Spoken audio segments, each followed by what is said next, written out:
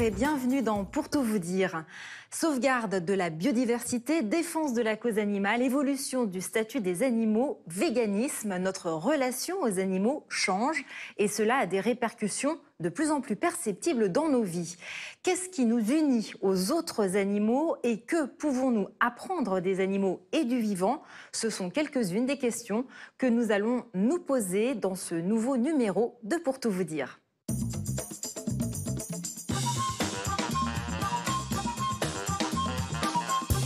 Pour en parler, je serai entourée de deux invités qui vivent et travaillent avec des animaux depuis des dizaines d'années, puisque l'un est vétérinaire et l'autre un dresseur animalier pour le cinéma. Il s'agit de Thierry Bedossa et Pierre Cadéac. Et puis, tout à l'heure, nous poursuivrons nos échanges avec un spécialiste du biomimétisme, Alain Renaudin, qui nous dira tout sur ce concept qui fait peu à peu son chemin dans de nombreux secteurs d'activité. Bonjour à tous les deux. Bonjour. Thierry Bedossa, Pierre Cadéac, merci d'être avec nous aujourd'hui. Euh, Thierry Bedossa, vous êtes vétérinaire installé à Neuilly-sur-Seine, tout près de Paris. Passionné par votre métier, vous avez présenté des émissions sur les animaux pour la télévision et vous êtes impliqué dans de nombreuses actions en faveur des animaux, notamment euh, l'association Agir pour la vie animale, dont vous êtes le président. C'est bien ça? C'est ça. Et Pierre euh, Cadéac, vous exercez une profession tout à fait extraordinaire, euh, puisque vous êtes dresseur animalier pour le cinéma. Vous avez commencé à travailler avec des animaux au cinéma dans les années 70, et puis les tournages se sont enchaînés. Vous comptez près de 4000 films à votre actif. Avec vous, les animaux sont des stars. Alors, euh, la France compte 63 millions d'animaux domestiques et c'est souvent une relation fusionnelle qui s'établit entre l'humain et l'animal. Thierry Bédossa, euh, vous qui êtes vétérinaire, vous rencontrez tous les jours des personnes euh, en compagnie de leurs animaux. Que pouvez-vous nous dire de cette relation? Moi, j'ai eu la chance d'être le spectateur d'une évolution majeure. Vous parliez de ces 63 millions d'animaux de compagnie, parce qu'il y a beaucoup plus d'animaux domestiques en France. Mais c'est vrai que les propriétaires d'animaux de compagnie, et notamment les propriétaires de chiens, de chats, euh, d'autres petites bêtes un qualifier d'autres animaux de compagnie, euh, mais aussi un nombre croissant de propriétaires de poules, euh, de hamsters, de lapins, eh bien, ils, ils sont en train de considérer, il y a vraiment une vraie bascule, ces animaux, non seulement comme leurs compagnons, mais aussi aujourd'hui comme les membres de leur foyer, les membres de leur famille. Et moi, j'ai la chance extrême de vivre cette époque, cette bascule, où notamment pour les millennials, hein, les, jeunes de 15 à 40, je ne sais pas, hein, euh, mais voilà, l'animal est devenu vraiment le membre de la famille, et donc il est considéré, et j'adore cette période.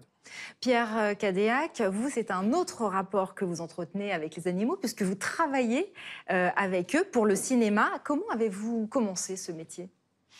J'ai commencé ce métier par hasard. Il n'y a pas d'école, euh, il n'y a pas de formation prévue, euh, et donc euh, il faut, à tâtons, avancer dans la connaissance des relations que l'on peut avoir avec les animaux.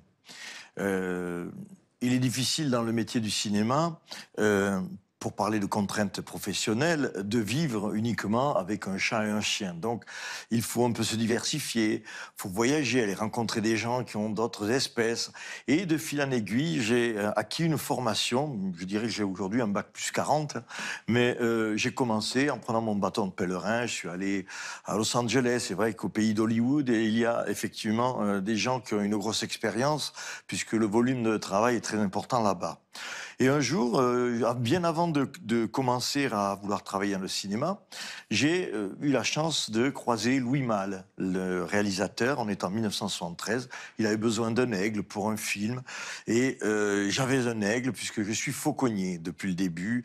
La fauconnerie, c'est l'art de dresser les faucons, les aigles et les oiseaux de proie. Donc j'ai commencé sur un film de Louis Malle avec mon aigle apprivoisé. J'avais à l'époque 16 ans. Alors vous travaillez euh, avec des animaux euh, qui semblent assez difficiles à approcher, notamment des loups, euh, mais aussi j'ai vu que vous avez travaillé avec des pélicans par exemple. quelle relation avez-vous avec ces animaux et comment parvenez-vous à communiquer avec eux sur un tournage? Alors, il, y a déjà une différence à faire que souvent le public ne fait pas quand on parle d'animaux. Il y a d'une part les animaux sauvages qui appartiennent au milieu naturel et les animaux domestiques, qui eux sont des animaux façonnés par l'homme depuis des millénaires. Je parle de la vache, du chien, du, du, chat pour les animaux de compagnie, ou de la vache, des moutons, des cochons pour les animaux de rente, c'est-à-dire euh, qui ont permis à l'homme de se nourrir et, d'arriver à ce qu'il est euh, aujourd'hui. Donc vous travaillez plutôt avec des animaux sauvages? Alors, je travaille aussi bien avec des animaux euh, domestiques qu'avec des animaux sauvages. Le travail, c'est moi qui le ressens. Je fais en sorte que l'animal n'ait pas cette sensation d'accomplir vraiment un travail il faut beaucoup ruser. Euh, on peut appeler ça une certaine manipulation.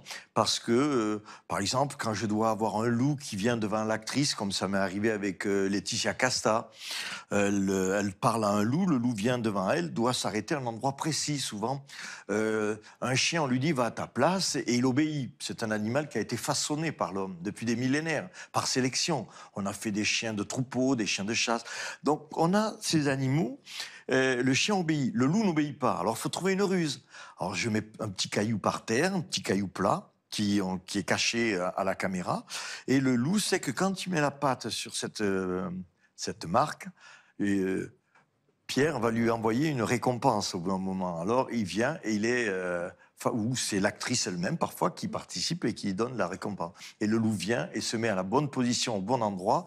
Il n'est ni flou, ni, euh, ni euh, trop dans l'ombre, et il, est à la bonne place pour que la prise de vue soit faite dans de bonnes conditions. Et c'est comme ça que j'arrive à trouver chaque fois des petites combines, des ruses, pour que ça plaise à l'animal et que ça plaise surtout au réalisateur aussi. Quoi. Donc avec une relation de confiance finalement qui s'instaure. Elle est indispensable. Alors on y a on a une connotation du mot dresseur qui parfois est, mal perçue. C'est dommage. Parce que je sais que les animaux, avec moi, sont heureux parce qu'ils ne s'ennuient pas. C'est une activité et toute activité est bonne pour euh, quiconque d'ailleurs. Et euh, si elle est conçue et, surtout ressentie de façon positive. Et donc mes animaux euh, évoluent avec moi dans des bonnes conditions et ça se passe bien. Vous, Thierry Bédessa, vous êtes un vétérinaire comportementaliste, c'est-à-dire que vous travaillez sur le comportement des animaux et leur rapport aux humains qui vivent avec eux. En quoi ça consiste précisément?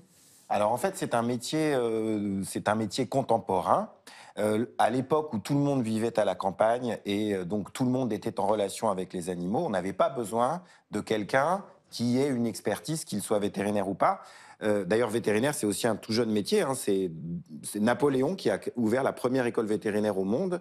Donc, c'est à quelques siècles à peine. Mais aujourd'hui, le comportementaliste, il explique à des personnes qui n'ont pas de savoir ancestral, atavique, familial, euh, euh, dans la connaissance des, animaux, des espèces en, compagnie desquelles ils vivent, à connaître les besoins de, ces individus en tant qu'espèces et les besoins très spécifiques euh, de l'individu qu'ils possèdent et avec lequel ils sont en communication. Et donc, euh, on les aide à comprendre cet individu. Et hélas, quand ils viennent voir un comportementaliste, les propriétaires aujourd'hui, c'est en général parce que cet individu avec lequel ils vivent et le cahier des charges de l'animal de compagnie, c'est d'apporter de, l'agrément dans le foyer, c'est d'avoir une relation harmonieuse avec son foyer.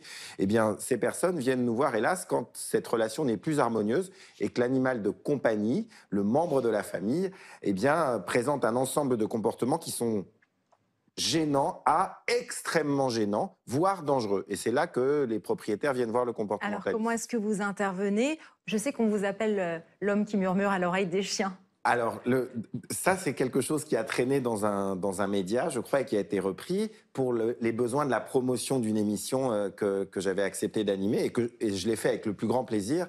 Mais en fait, non, euh, il a c'est juste que connaître l'espèce et reconnaître l'individu face auquel on est.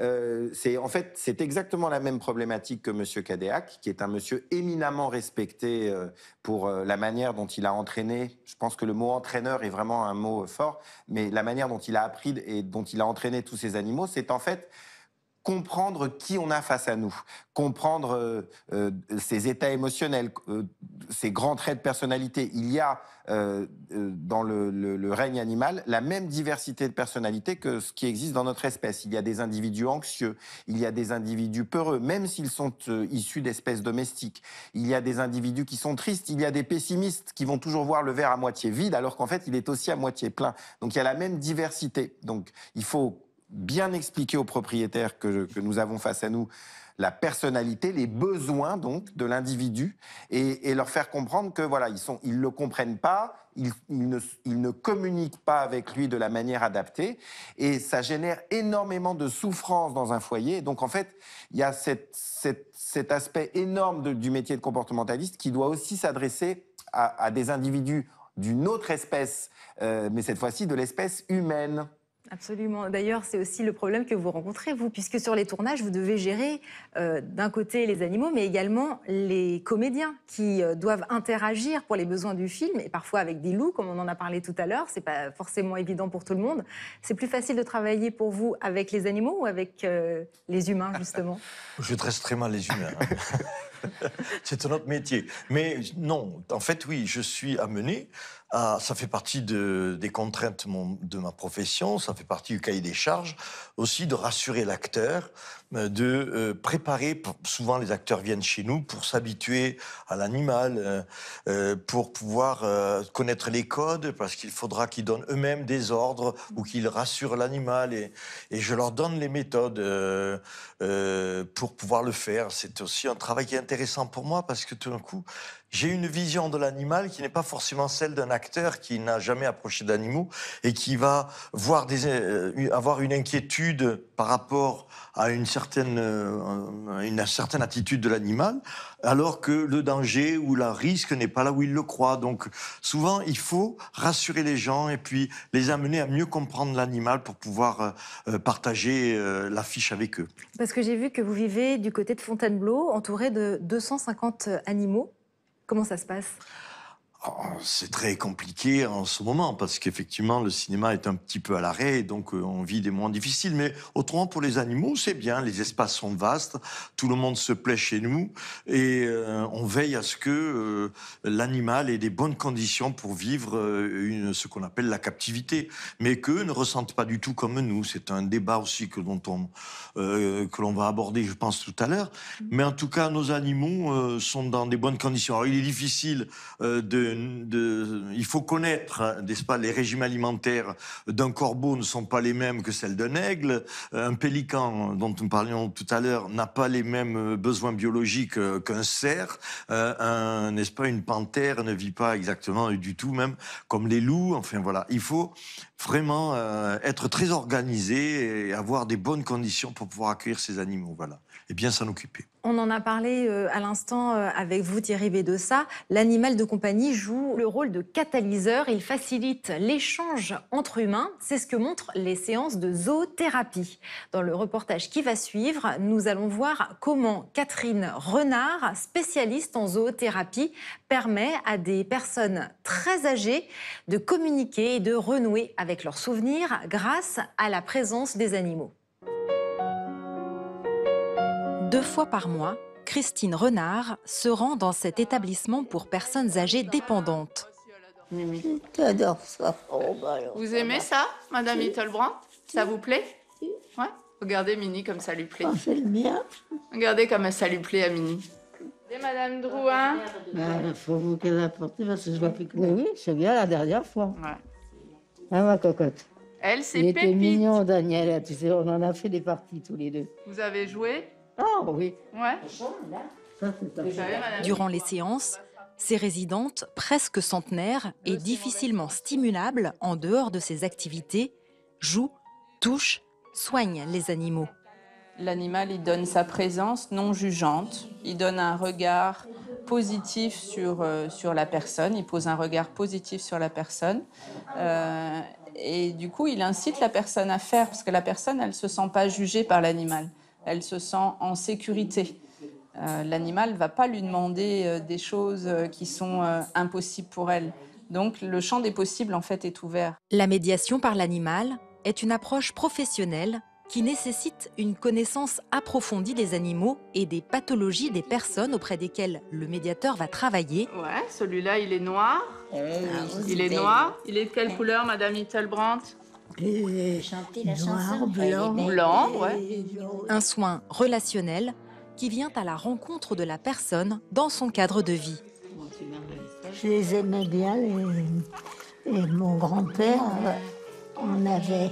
Il en avait des petits comme ça On avait des petits comme ça dans son jardin. Dans son jardin, d'accord.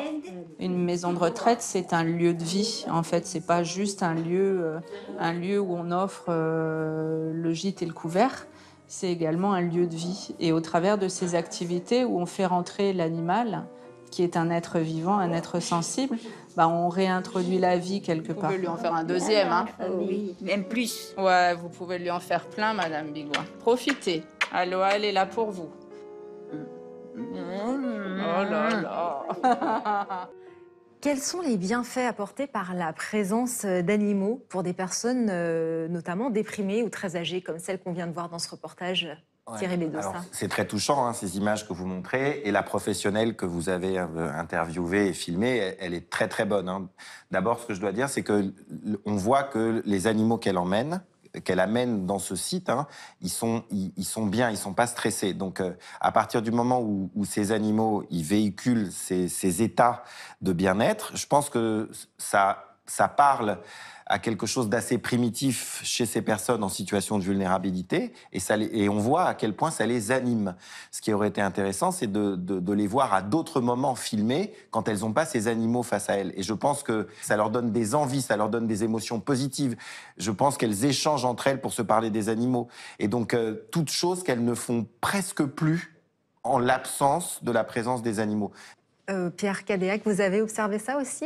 Vous me parliez d'activités de, médiation que vous euh, effectuiez vous-même. Oui, comme le disait le docteur Bedossa, les animaux sont euh, familiers et vont au-devant des hommes. Ce n'est pas une contrainte pour eux de, fréquenter les hommes, bien au contraire. Ils ont même besoin de cette relation. Donc, on est allé chercher des enfants en difficulté sociale pour évaluer le, le bienfait que pouvaient apporter les animaux à ces enfants, qui sont tous mineurs. Et on a été, y compris surtout les accompagnants qui euh, suivent ces enfants depuis déjà un certain temps, ont été surpris par le, l'empathie qu'avaient ces, ces jeunes de banlieue, souvent qui n'ont pas du qui vivent dans un milieu totalement artificiel où euh, l'herbe est rare et encore plus les animaux. Et tout d'un coup, ces enfants ça a été une révélation pour eux. Et on a eu du mal même à les, à les, euh, à les enlever, à ces animaux auxquels ils voulaient apporter du bien, pour lesquels ils voulaient euh, euh, participer à des actions de nettoyage, n'est-ce pas, ou de soins, euh, voilà, ou de nourrissage. En fait, c'était extrêmement positif. Et c'est là que l'on se rend compte à quel point l'homme a besoin de l'animal et l'animal a besoin de l'homme. Alors avec euh, les animaux, c'est une communication non verbale, bien entendu, hein, qui, euh, qui se met en place. Comment échanger avec eux? Euh, Peut-être Thierry Bédossa, vous avez des conseils à nous donner pour dialoguer avec nos animaux de compagnie ou les animaux en général qu'on peut rencontrer? Alors d'abord, maître mot, la bienveillance. Je pense que tout ce qui est associé à voilà, le- le- les mauvaises émotions, la violence, c'est à proscrire, quelle que soit l'espèce qu'on a face à soi, quel que soit l'individu qu'on a face à soi. Sauf dans des situations de danger où on doit se- s'extraire du danger. Mais sinon, voilà, le maître mot, c'est la bienveillance. Et ensuite, chaque espèce a ses propres euh, usages de communication. Il faut bien comprendre que nous, on est aussi une espèce différente. Donc, euh, que, que les individus de l'espèce qu'on a face à soi, je vais prendre l'exemple d'un chat ou d'un chien, eh bien, euh, ils, sont habitués à fréquenter des humains.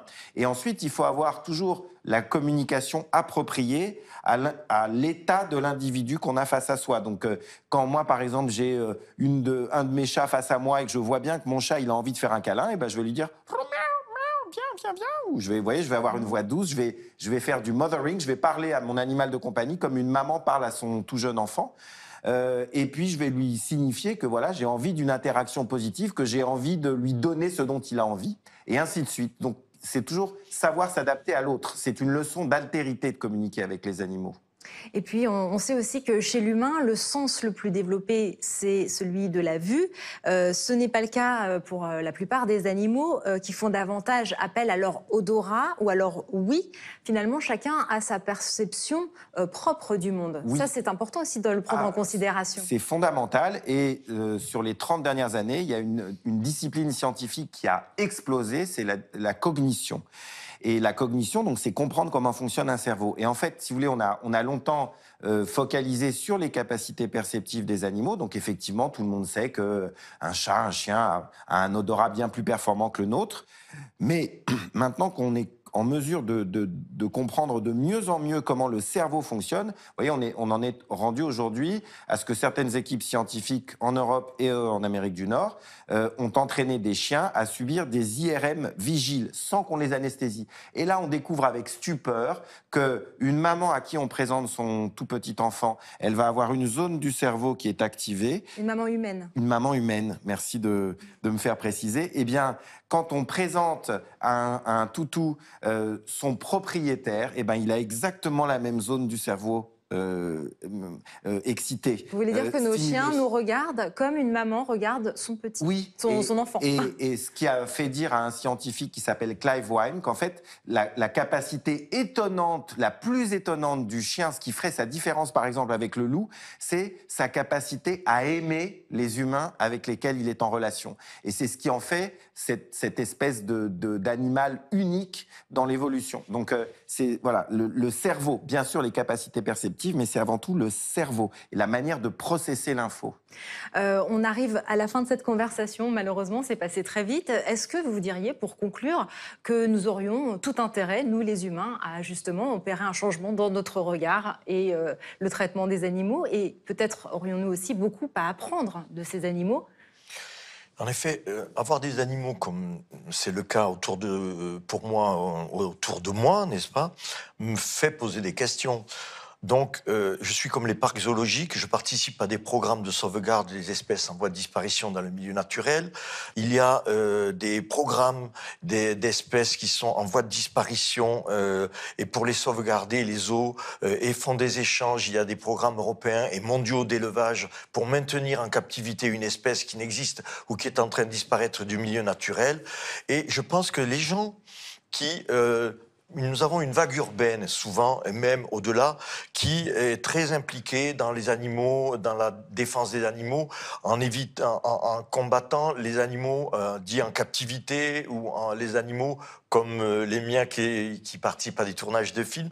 Et on a une opposition de plus en plus importante et systématique de gens qui, à mon avis, ne dirigent pas bien leur euh, combat. Je pense qu'il vaut mieux qu'ils les dirigent justement vers, euh, alors que justement nous-mêmes sommes très impliqués pour sauver les espèces. Il existe, prenez le, singe euh, au fin fond de, la forêt, n'est-ce pas, du, de, de l'Amazonie, qui est en train de s'éteindre dans le secret de la nature, et c'est quelque chose, c'est terrible, c'est irréversible. Il faut vraiment s'impliquer pour la sauvegarde des espèces dans le milieu naturel, comme le font ma petite euh, activité, les parcs zoologiques qui font un travail remarquable. Si vous prenez l'UICN, Union internationale pour la conservation de la nature, je vais être bref, l'UICN a évalué le niveau de disparition des différentes espèces à travers le monde. Les deux derniers stades, alors vous avez lower risk, c'est-à-dire risque minimum, et puis on monte, on monte, on monte en traitement, traitement majeur, et puis on arrive à la fin, les deux derniers échelons de la disparition des espèces sur, sur la Terre, c'est Missed in the Wild, disparu dans la nature. Et il reste encore une étape au-dessus, c'est disparu. Et cette étape euh, qui n'est pas franchie de disparu, ça veut dire qu'elle existe encore dans les parcs zoologiques qui font un travail de conservation, qui sont devenus des conservatoires d'espèces en voie de disparition. Et il y a plein de gens comme ça qui mènent des actions et qui sont parfois montrés du doigt à tort. Voilà, je tenais à faire passer ce petit message parce que je crois qu'il a son importance. Vous voulez ajouter quelque chose pour finir? Très court. Hein. Oui, très court. Alors moi, je pense que les enjeux du futur de l'humanité sur notre planète, pour le moment, on ne sait pas aller ailleurs, en tout cas, c'est autant le changement climatique que l'extinction de la biodiversité, que la disparition de la pauvreté et les combats contre les inégalités. Tout est lié parce qu'en fait, on, partage cet écosystème et on n'a pas le choix. Donc euh, tous ces enjeux sont liés et je ne sais pas comment euh, l'humanité les gérera. Moi, je suis toujours optimiste, donc je pense qu'elle les gérera au mieux. Merci d'avoir partagé votre connaissance euh, des animaux avec nous et de nous avoir permis d'en savoir plus sur ce lien très riche que nous entretenons avec eux. Nous allons poursuivre cette conversation dans un instant avec un troisième invité qui va parler lui aussi des animaux et de la nature et d'une nouvelle approche qu'on appelle le biomimétisme.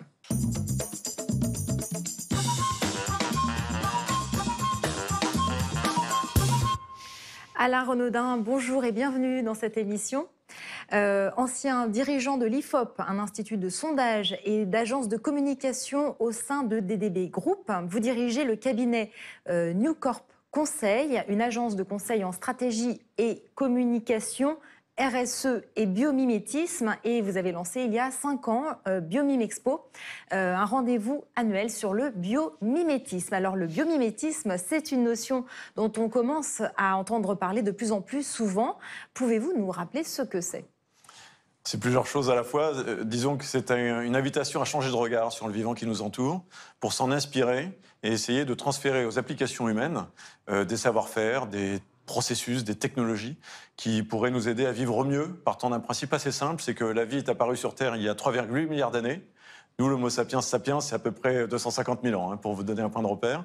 Et donc, comment tirer des leçons de ce vivant euh, qui nous a précédés qui nous précède et qui nous entoure pour tout simplement que l'humanité vive mieux en dégradant moins son écosystème et euh, en améliorant ses conditions de vie? Sur le principe euh, de s'inspirer des oiseaux pour créer les avions, par exemple? Par exemple, euh, c'est valable dans tous les domaines. C'est valable dans tous les domaines et à toutes les échelles. C'est vrai que l'aéronautique, euh, est un vieux domaine du biomimétisme pour une raison assez simple, c'est que nous sommes une espèce assez prétentieuse, mais quand même en matière de vol, on a vite compris que les oiseaux faisaient mieux que nous. Et donc, par exemple, pour illustrer les choses, c'est ces winglets qui sont ces bouts d'ailes relevés, vous savez, au bout des avions, qui sont euh, aujourd'hui euh, qu'on retrouve de manière assez commune chez les Airbus, Boeing, etc. Ben, on doit ça à un chercheur américain qui s'appelait Richard Whitcomb, on est au début des années 70 aux États-Unis, il est au centre de recherche de la NASA. Il a des problèmes de turbulence sur les ailes plates il y a un vortex, un tourbillon d'air qui tourne autour de l'aile, et il observe les grands rapaces. Vous allez avoir l'image mentale tout de suite. Les grands rapaces, ils ont les rémiges primaires, les grandes plumes au bout des ailes, qui sont relevées comme des virgules. Et il se demande pourquoi. Parce que le point de départ du biométisme, c'est de la curiosité et de l'humilité. Pourquoi cet oiseau vole comme ça? Et il comprend que ça réduit les turbulences, ça économise son énergie, et donc il l'applique aux ailes. Mais après, euh, vous avez dans vos voitures des systèmes de GPS qui sont inspirés des stratégies de communication des fourmis entre elles, qui, communiquent par des dépôts de phéromones, qui sont des substances chimiques volatiles. Et dans les années 90, des mathématiciens ont développé des algorithmes inspirés de ces dépôts de phéromones des, fourmis. Le lien est moins évident là pour ce qui est du GPS et des fourmis. Mais les fourmis optimisent leur trajet et communiquent entre elles pour dire là, il y a une ressource de nourriture. Et donc dans vos voitures, tous et toutes, vous avez un système de GPS inspiré de la nature. D'accord. Donc on voit bien que l'idée ne remonte pas euh, à hier, hein, c'est même assez évident. Mais aujourd'hui, il y a de nouveaux enjeux. Euh, à quels enjeux répond aujourd'hui justement le biomimétisme? En fait, le le biomimétisme répond aux enjeux auxquels nous sommes confrontés en tant qu'humanité. C'est-à-dire que euh, sur ces 3,8 milliards d'années de l'existence de la vie sur Terre, qu'on peut considérer comme 3,8 milliards d'années de recherche et développement et d'optimisation continue, euh, on peut aussi le lire comme un cahier des charges du développement durable. Donc euh, généralement, la nature est économe en énergie, économe en ressources, elle ne produit pas de déchets, elle privilégie la collaboration plutôt que la compétition, contrairement aux stéréotypes que nous avons souvent en tête. Et donc l'humanité, elle doit affronter ces enjeux-là aujourd'hui. Et donc, comment s'inspirer du vivant pour être économe en énergie, pour travailler en circuit court, pour développer de la polyculture ou permaculture plutôt que de la culture euh, monoessence et, euh, extrêmement, euh, comment dire, dans la culture du rendement. c'est valable aussi bien dans l'architecture que dans l'aéronautique, comme on en a parlé, que en matière d'agriculture, que dans ce qu'on appelle la multifonctionnalité des matériaux. Une nanostructure d'une aile bleue de papillon morpho, c'est une coloration structurale, c'est-à-dire que c'est une coloration qui crée un bleu, mais sans chimie, sans pigment, simplement en, créant une diffraction de la lumière blanche. Quand vous répliquez ça sur les matériaux, vous créez de la couleur sans chimie. C'est une approche qui vous parle, Thierry Bédossa? Ah oui, totalement. En fait, en tant que scientifique, spécialiste des animaux comportementalistes. Justement, euh, je dois dire, en écoutant Monsieur, que je suis très séduit par son discours et que, si vous voulez, dans, les, dans, dans, dans la formation d'un scientifique, nous, on nous explique toujours, voilà, il faut, il faut cette rigueur scientifique et on se méfie toujours de ce qui commence à sortir du champ d'approche de la méthodologie scientifique. Et c'est vrai que quand vous m'en avez parlé, j'ai un peu tiqué parce que c'est vrai que j'ai déjà entendu au nom du biomimétisme plein de choses, mais là, quand j'écoute monsieur, alors là, je bois ses paroles. Et en plus, il vient d'utiliser d'autres mots pour parler de, ce temps si long que que tellement d'entre nous ont tant de mal à comprendre, qui est celui de l'évolution. C'est-à-dire que voilà, cette planète, le vivant, euh, enfin les quatre bases puriques, hein, c'est l'ADN. Enfin, c'est, il y a une unicité qui est quand même stupéfiante, que l'on soit croyant ou pas. Mais le vivant, il est vieux de 3,8 milliards d'années. l'univers physique de, je crois, 14 milliards d'années et plus. 4,5 pour la Terre. Bon, 4,5 pour la Terre. Donc, ce temps qui a passé, il a servi à quelque chose. Et c'est vrai que c'est idiot de ne pas en tenir compte. Donc, euh, moi, j'adore la manière très rigoureuse dont monsieur aborde ça. On a parlé du changement de regard euh, envers les animaux dans la première partie de cette émission. Est-ce qu'il s'agit là aussi de euh, désanthropiser notre approche du monde en recommençant la nature comme une source d'inspiration? Mais évidemment, et c'est d'ailleurs à cela que le biométisme nous invite d'abord, c'est de se remettre en posture d'élève face, face au vivant, considérer que le vivant n'est plus un stock, n'est plus uniquement de la matière, de la valeur, mais euh, est un modèle d'excellence.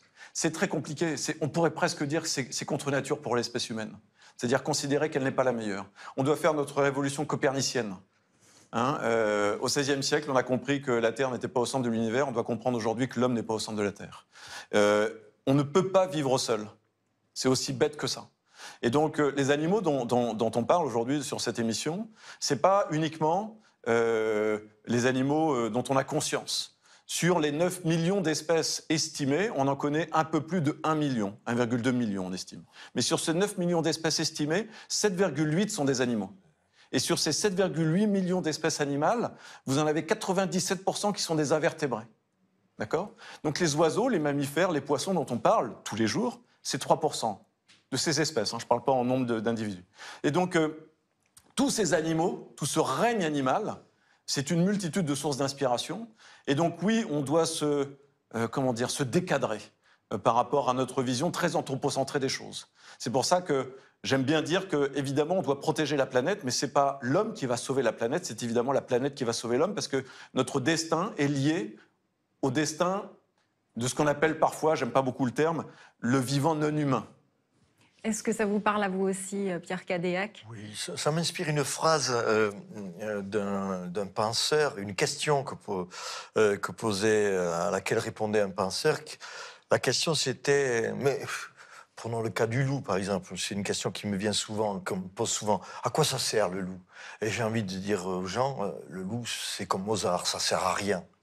Effectivement, l'homme a tendance à vouloir toujours euh, par nombrilisme, trouver dans les, dans les animaux ou dans le fonctionnement de la nature son propre intérêt sans voir que son propre intérêt ne doit pas être vu de façon directe, mais de façon indirecte aussi, parce que tout est formé d'un tout. Et euh, vouloir euh, briser une chaîne, euh, c'est ne plus avoir le bon lien. Et, je crois que on a beaucoup à, rappeler aux humains qu'ils ne doivent pas être dans une vision nombriliste de, ce monde qui les entoure, mais qu'ils doivent aussi l'apprécier pour sa beauté, aussi pour tout ce dont on a besoin et qu'elle peut nous fournir, nous proposer. Donc pour résumer un peu tout ce qu'on a dit, euh, euh, à l'heure où on s'accorde pour euh, dire que nous devons changer nos comportements pour éviter un désastre écologique, il s'agit finalement de faire de la nature un allié. Oui, la, nature un allié, un modèle, encore une fois, et, la crise que nous vivons aujourd'hui, c'est une, crise de destin pour l'humanité. on est en train de redécouvrir que l'humanité est une espèce mortelle, parce que la vie n'est que dynamique, n'est qu'évolution, et que nous sommes en communauté de destin, nous, en tant qu'humanité, c'est-à-dire entre les peuples, entre les nations. On voit bien aujourd'hui que tout traverse les frontières, les frontières sont des artefacts euh, non naturels, euh, et on a une communauté de destin avec le vivant qui nous entoure. C'est-à-dire que euh, nous ne pourrons bien vivre demain qu'en harmonie avec ce, ce, vivant qui nous entoure. Donc oui, on doit se reconnecter, on s'est perdu de vue avec le vivant. D'une certaine manière, la vraie souffrance aujourd'hui, c'est on souffre de distanciation écologique en réalité et qui, provoque probablement nos contraintes de distanciation sociale. Mais on, doit, recréer ce lien. On, a oublié qu'on n'était pas seul au monde. Et oui, c'est une communauté de destin à reconstruire, nous en tant qu'humanité et humanité avec le reste du monde. Merci beaucoup Alain Renaudin. Euh, d'être venu nous parler du biomimétisme et des perspectives que peut offrir ce concept. Et merci également à Pierre Cadéac et Thierry Bedossa pour ces échanges. Et merci à vous de nous regarder chaque semaine. On se donne rendez-vous la semaine prochaine pour un nouveau numéro de Pour tout vous dire.